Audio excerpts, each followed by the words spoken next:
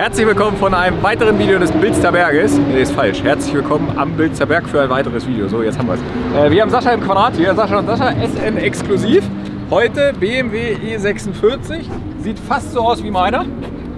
Ich hätte fast verwechselt. Mal gucken, ob es jetzt hier wieder Shitstorm für die Felgen gibt. Ich finde sie immer noch geil. Das sind ja sogar die echten, ich sag jetzt mal, die echten E88 mit dem tieferen Stern. Ja. Hatte kurzzeitig überlegt, ob ich es umbaue. Dann wird natürlich das Außenbett schmaler. Und da finde ich es gerade geil mit diesen flacheren Stellen, wenn halt so ein fettes Bett ist. Ne? Aber egal, da kommen wir später zu. Erstmal ganz kurz. Sagt mal was zu dem Auto. E46 M3. Sieht aber nicht mehr aus wie ein M3 eigentlich. Noch ein bisschen, ne? Ist schon noch ein bisschen nah dran. nah dran, ja. Hat komplett leicht gemacht. Alles, was gibt, in Carbon dran. Carbon-Türen, Carbon-Kotflügel, Carbon-Haube, Carbon-Dach, Carbon-Heckflügel, Carbon...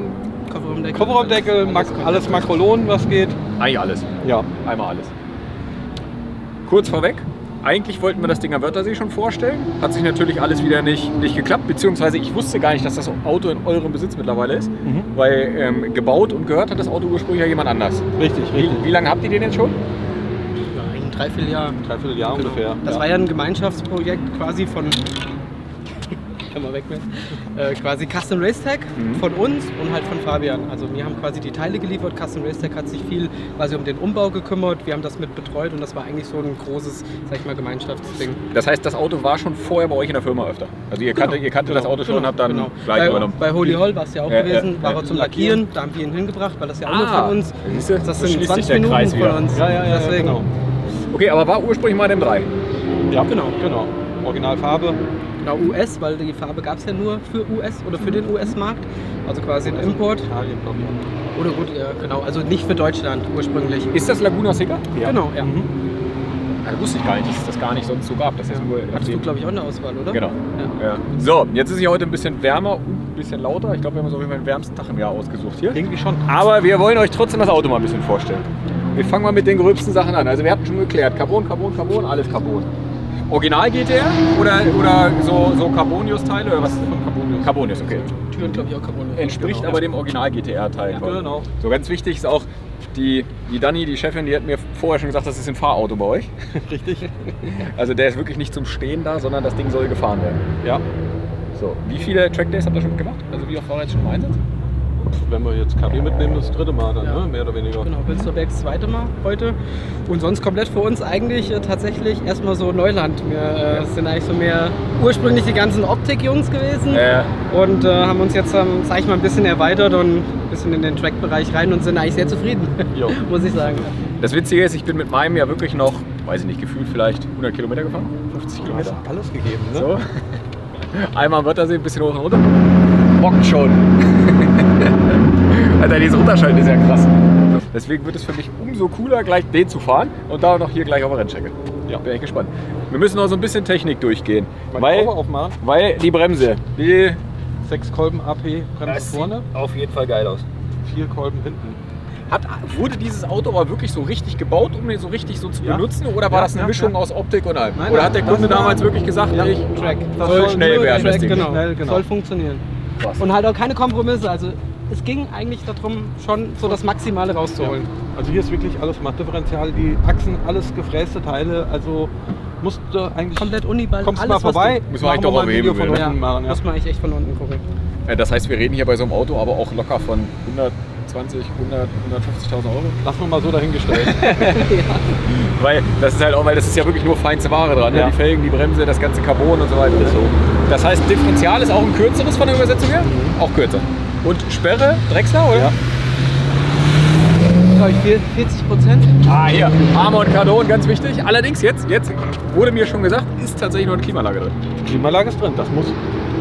Ja, also das Carbontüren und Klimaanlage. Deswegen sind die Carbontüren reingekommen. Um das wieder auszugleichen. Ja, ja, ne? genau. So, und jetzt ist bei diesem Fahrzeug tatsächlich das Krasse, der hat theoretisch, so wie er steht, eine Straßenzulassung. Yep, genau. Weil, weil das versuche ich schon den Zuschauern ganz lange immer beizubringen. Für ganz viele, die ein bisschen neuer in diesem Tuning sind, die denken wirklich gleich immer, du hast an deinem Auto was verändert, es muss illegal sein. Ja, ist ja genau. heutzutage ganz groß das ja, Denken. Ne? gleich, machst ein bisschen So, oder, oder, oder Felgen hat kein Gutachten, heißt, das wird auch niemals irgendwie einer eintragen. Ne? Ja. So, und das war ja aber zu früheren Zeiten eigentlich auch schon so, dass nicht alles immer Gutachten hatte. Genau. Und es gab ja trotzdem noch ein paar TÜV-Prüfer, die ja auch mal Bock sich damit zu beschäftigen. Richtig. Wobei da die Zeit anders da war, wahrscheinlich mit dem Anzweifeln, dass halt viele gesagt haben, Das ist nochmal ein anderer Punkt, Genau, ja. das, Das- ist halt das. Aber also, grundsätzlich möglich ist schon wenn du- einiges, wenn man es vernünftig angeht. Das Ja, muss ja, man ja. ja, doch immer bedenken. Motor, ganz normal 3-2er. Oder auch an dem irgendwas gemacht, irgendwie mit Nockenwellen oder irgendwelchen Spielen. Diese Carbonius-Geschichte einfach dezente Airbox, ja. Ja, genau. Aber alles mit TÜV, alles eingetragen. Fahrwerk, KW. KW Competition 2, ja. Wie fährt das Auto hier? so? Richtig geil. Also gefährlich oder, Nein. oder? Okay. Also, ist eigentlich schon. Sehr, sehr, sehr gutmütig, aber Ja. natürlich auch, ist klar, ein bisschen zickig trotzdem noch. Also ich sag mal, bis zu einer gewissen Grenze und dann, aber es macht ja auch Spaß, wenn man ein bisschen mitgeht. Also gibt, gibt schon auch Momente, wo auch Ja. mal so ein bisschen ja, rumkommt. ja, klar, oder auf jeden Fall. Also hier auf kannst jeden aber Fall. super geil dosieren. Also du gehst ein bisschen vom Gas oder so, kannst das so schön. Welche, wo ist das? Wahrscheinlich einmal über die Kuppe rüber vor der Mausefalle? Mausefalle und tatsächlich ähm, hier oben hoch zu, diese S-Kombination in der einen drin, dann kannst du schon wirklich mit dem Heck fahren. Sauberes Maß, sauberes Maß. Du fährst dann mit und dann kannst du ihm mal sagen, wo Genau. er Gas macht und so. Also alles in allem kann man sagen, schon all in. Also viel mehr, viel mehr kann man nicht mehr machen. Nee, geht nicht, ne? Käfig geschraubt oder geschweißt? Geschraubt. Geschraubt. Aber mit Schnellverbindern, dass man so rausnehmen kann, ne? Ja. Ja, geil. So. Du könntest rein theoretisch wieder auf Serie machen, das Auto. Oder wo man natürlich besonders viel Bock zu hat, wenn man einmal auf der Rennstrecke mitgefahren. Das, ist, das Auto liefert einfach nur ab und das ist echt geil. Also Wir steigen in den kleinen Porn ein, so einen Mini-Porn. Und in der Zeit bereiten wir die Waage vor, weil ich bin wirklich gespannt, ob er leichter oder schwerer ist als meiner.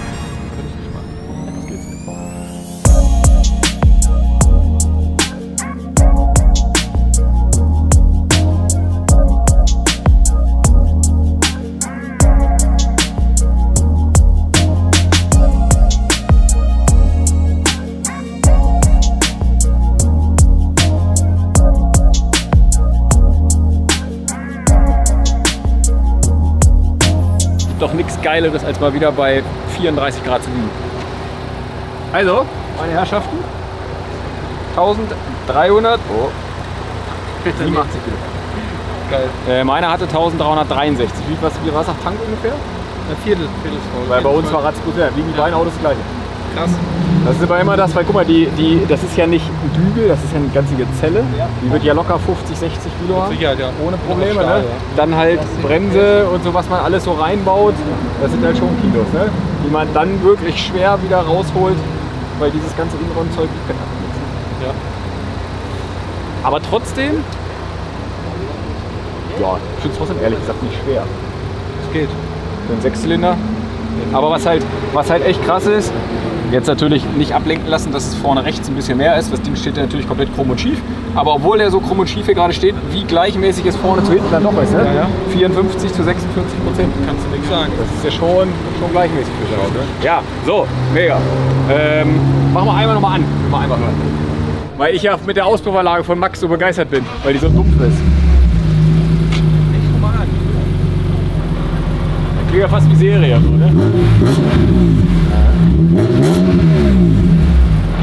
Oh, der Last ist ja schon laut, ne? Der macht halt so ein bisschen mehr das, was ich an der Auspuffanlage von Max so geil finde. Der macht auch mehr dieses blecherne Sound, wie halt E46 M3 bekannt ist. Ne? Genau. Wobei es unter Last eigentlich geht. Das ist nicht so, finde ich, unter Last nicht so typisch. Ich würde sagen, wir verkabeln uns und los geht's. Also ich merke immer wieder bei dem Wetter, Klimaanlage ist auf jeden Fall Gold wert. Okay. Mein erstes Mal E46 Rennstrecke, nicht im eigenen Auto. Perfekt. Los geht's. Viel Spaß. Danke.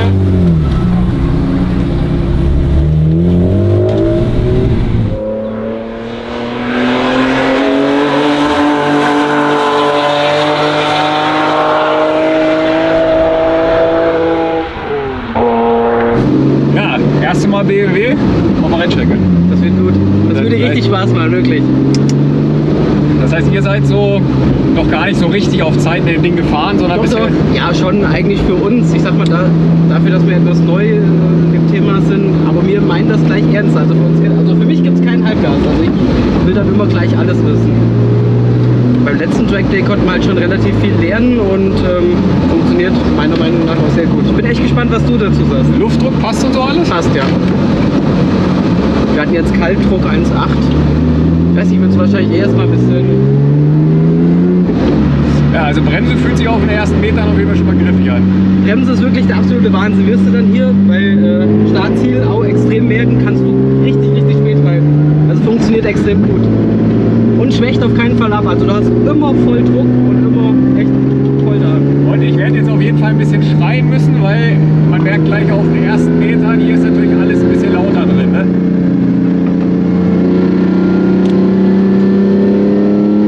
Lenkrad ist auf jeden Fall witzig, weil es gefühlt recht klein ist. Finde ich. Ich finde es eigentlich perfekt für den Kurs. Er ist ein bisschen ungewohnt, aber Ja, Bremse ist ja wirklich. also Bremse ist okay. Hammer.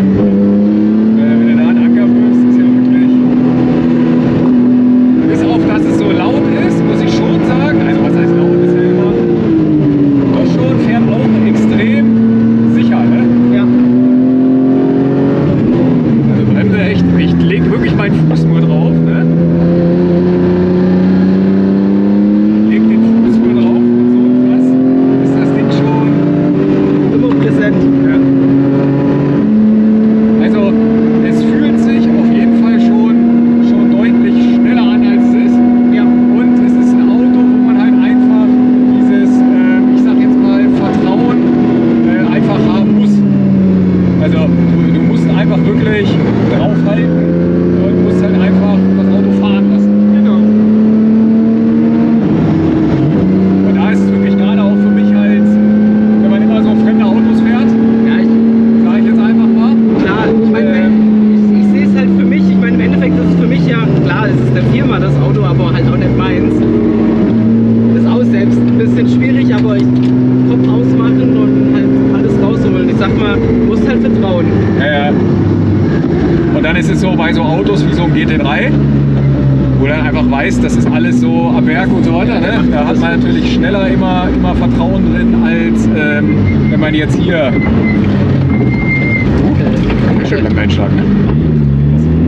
Einsteigen ist brutal. Die denken alle, wenn du wirklich mal mit dem Auto normal irgendwann fährst, du denkst, du bist blinder. Ich war mal hier mit dem Ding einkaufen gewesen und habe eingepackt, die haben echt mit bescheuert. Wow. War auch echt. Aber macht Spaß. Ja. Aber ich finde auch mitfahren brutal in dem Auto. Ich meine, ich fahre am liebsten gerne, keine Frage, aber auch mitfahren ist auch schon geil.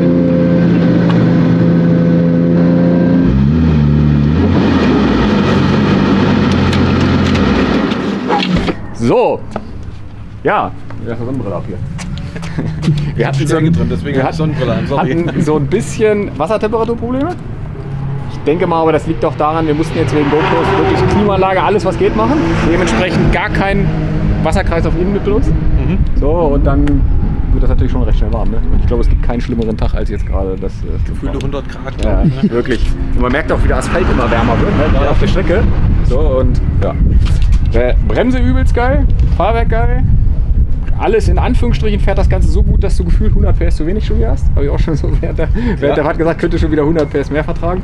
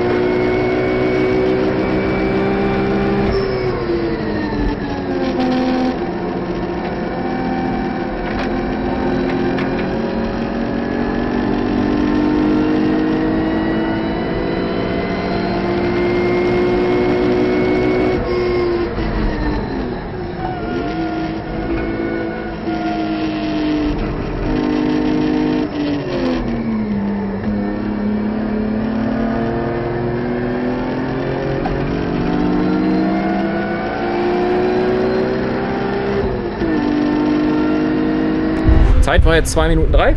Ich behaupte, an einem normalen Tag kommt man sofort unter 2 Minuten damit. Wenn's So, ne? Wenn die Hitze mitspielt, fährt ja, ein bisschen, weil das Ding, weiß ich nicht. Also kenne mich jetzt nicht so gut aus, aber wenn die eh nach unten streuen, die Motoren, dann wird der jetzt wahrscheinlich bei dem Wetter 300 PS haben. Oder so. Ja.